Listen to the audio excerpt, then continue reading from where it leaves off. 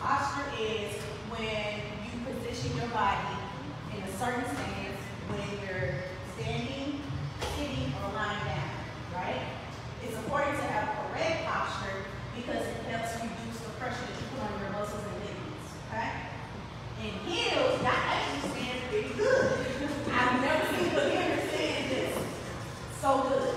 In heels, one of the problem is, is um, your shoes are uncomfortable,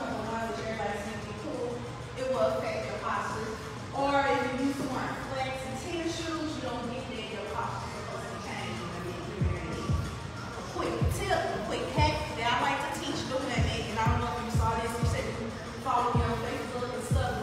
A quick hack that I like to teach is, don't follow me yet, put your head down, pull your shoulders back, put your head up, and just put your hands on your hips.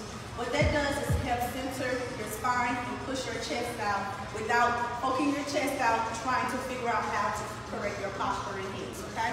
So what I want you to do is put your head down,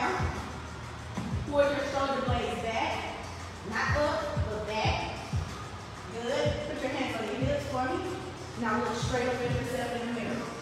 Okay? That is the stand that you need to have. That is the way your body needs to be